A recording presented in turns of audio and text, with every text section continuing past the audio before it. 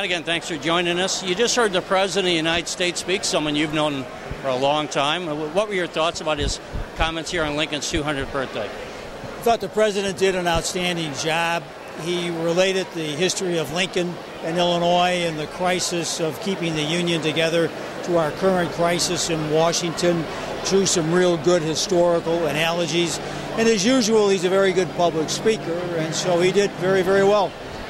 The president talked about unity, the need to work together.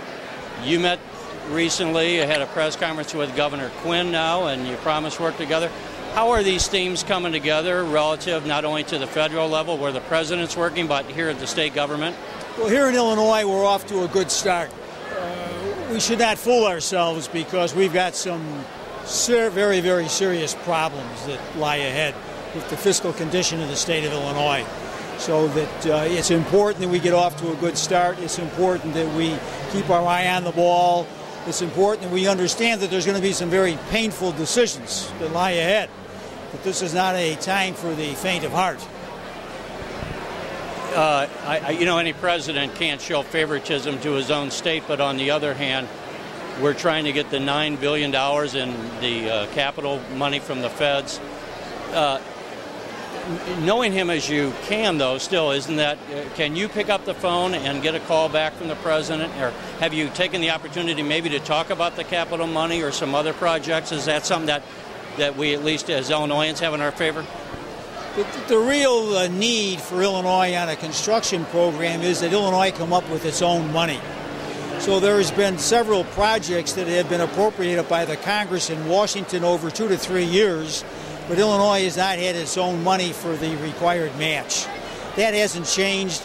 It's not going to change going forward, and that's why I said there are some painful decisions that lie ahead. It's nice to talk about a construction program and matching state against federal money, but what that means is that you need money at the state level. It will not be easy. It will not be an activity for the faint of heart. There will be a lot of pain up ahead. What, what kind of dollars uh, does the state have to come up uh, to match that? Well, it's, it's a multi-million dollar program. It reaches into the billions. And it's not just the old project, billions, billions of dollars. It's not just the old projects, it's the new ones going forward. And so almost all Illinoisans want a construction program. They recognize that a construction program helps the economy of the state, helps the well being of the people of the state, but it doesn't come free. You have to pay for it. And that's where you get to the painful decisions. You were you were here when Governor Edgar was struggling to balance the budget. How does this time compare back to the early 90s? Well, it's much worse than it was in 1991 when Edgar started his time as governor. He had a very difficult situation. To his credit, he was prepared to do the difficult things that had to be done to balance the budget, pay the bills, and try to move forward. But this is much worse than that. Going back to President Obama, we won't keep you much longer. Just he he had a little bit disappointing news today on the Commerce Secretary with uh, uh, Senator Gregg uh, decided not to join the administration. That aside, uh, how, how would you judge how the president has been handling himself uh, thus far? Very early, of course. Well, I think he's been doing very, very well. Uh, his appointments on balance have been very good. You know, they've shown that uh, uh, President Obama's got a good uh, broad perspective on the problems of the nation. Uh, he stepped into a situation that is extremely difficult. Uh, prior presidents didn't walk into something like this, maybe with the exception of Lincoln or Roosevelt. So you have to understand that we're living in very extreme times and he's struggling with all of that and trying to make his appointments to the cabinet. So if you give him a little breathing room, I think it's well deserved. One last question since we're here on the 200th uh, birthday of Lincoln.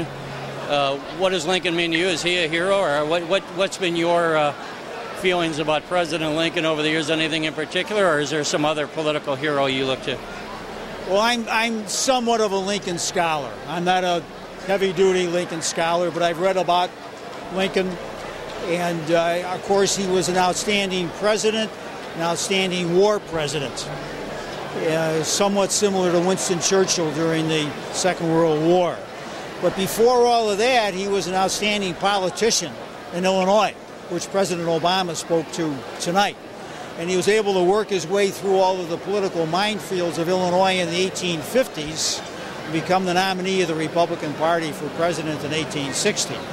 Uh, of course, you know, this goes without saying that uh, Lincoln was an outstanding figure in American history.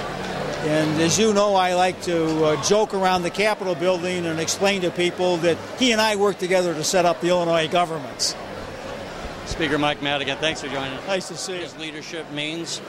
What did you first say, think of the president's remarks? And, uh, and tell us a little bit uh, of your own thoughts on uh, Lincoln and the what his legacy of leadership means for Illinoisans today. I thought the president gave a, uh, a great address. He's a very gifted public speaker. I think it was so appropriate to have the nation's first African American president speaking here at the 200th anniversary of the birth of the great emancipator. I think that is very fitting.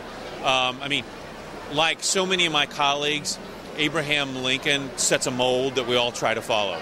I mean, someone who was a gifted politician, was a gifted speaker, but also true to his core principles recognizing that you had to reach out and build a consensus and you had to compromise, but you never compromised your core principles and what you truly, truly believed in. And I think it was that kind of person, and only that kind of person, that could have brought us through the great travesty of the Civil War. Uh, I'm sure you've been in uh, any number of tough political positions where it's easy to go along with the consensus, and you, how do you face that? And and you know maybe you're, you're you're having to dig in and maybe your fellow republicans that's when it's, it's it's easier to go against the democrats but maybe your fellow republicans are asking you to do something let's bring it down to a real world situation how do you approach those kind of moments and i don't want to put words in your mouth but do you think of a guy like lincoln and what he went through and does that influence you Oh, absolutely. I mean, in the end, I mean, we all face those situations at one time or another. And I think the key is to remember you have to do what you think is right. You have to do what your constituents, the people who sent you here, um, think is right. And in the end, I have found, and maybe I've just been extraordinarily blessed, but the people that I've served with in my party, both in the House and the Senate, they respect that. They understand that while you're a member of one party, you're sent here by a district and you're here to do what's right and do what's right on their behalf. And in the end, that's the most important thing. That's more important than party uh, in the end. And I think most most of our colleagues are very understanding of that. You would also serve with uh, the president and the Senate. Uh, what are your thoughts, A, of him uh, as a leader and, and so far how he's been doing in, in the presidency? It's only been a couple of weeks now, but Well, I think that, that like all presidents, he's probably still to some extent getting his feet under him. Um, but I think that President Obama has the potential to be a great leader. He truly does. And that is because I do think that President Obama obviously is a gifted speaker. He's a terrific communicator. I think that becomes more and more important for our presidents as time goes on and the age of instant communication is upon us. But I, I think he's got that potential. Uh, he's got some severe challenges before him. He's got some, some challenges that none of his predecessors have ever faced before. But uh, I think most of America is optimistic about President Obama, and so am I. thanks for joining us.